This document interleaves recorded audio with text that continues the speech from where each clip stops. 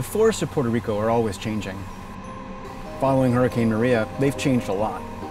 But by taking measurements on the ground, in the air, and from space, we're able to not only identify those changes, but also follow them through time as these landscapes recover the lush tropical forest they had before the storm.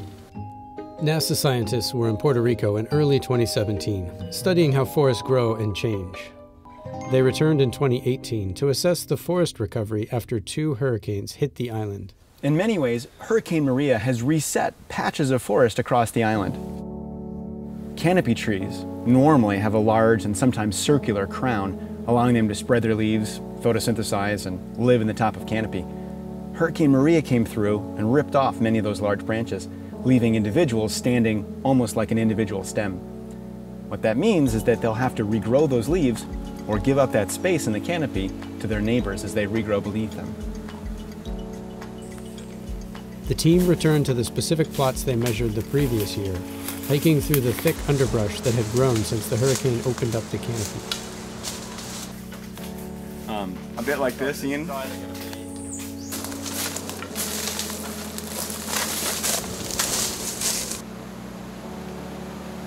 When this large tree fell, it took out most of its neighbors and created a large gap in the forest where sunlight will now reach all the way down to the forest floor. That'll allow new, young trees to grow back in its place. In contrast, on this side of the plot, many of the large trees were stripped of their large branches, but they're still standing, and most of them will recover those leaves and grow back into the space they left behind. But with forests covering half of the island, walking up to every tree was not practical.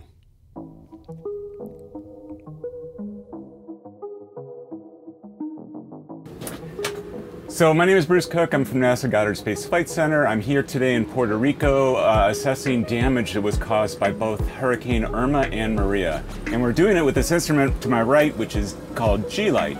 G-LiHT stands for Goddard's LiDAR Hyperspectral and Thermal Instrument.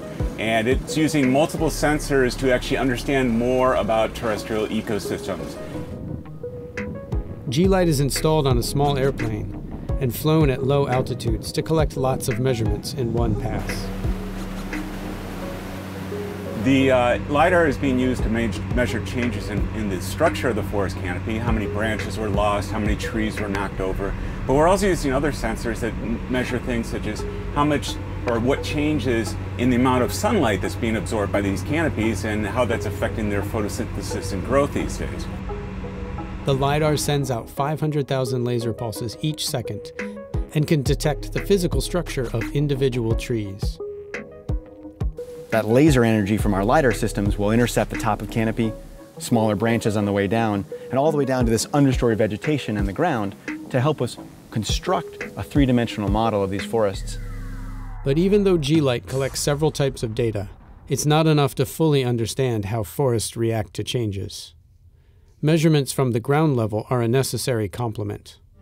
The same laser technology on G-LiHT can be put on a tripod on the ground to make very detailed measurements of individual trees, the vines and lianas that hang from those trees, as well as the damage that's occurred.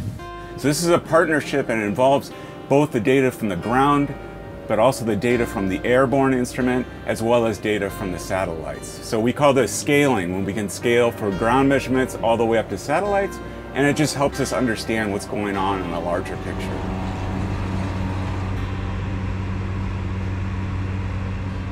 By being able to take information about the changes and the recovery of these landscapes over time, we're able to connect the changes in the carbon cycle, the changes in tropical forests and their functioning, even the changes in the strength and intensity of hurricanes, and understand how those changes observed today help us understand and predict tomorrow's changes as well as the imprint of that hurricane in our atmosphere worldwide.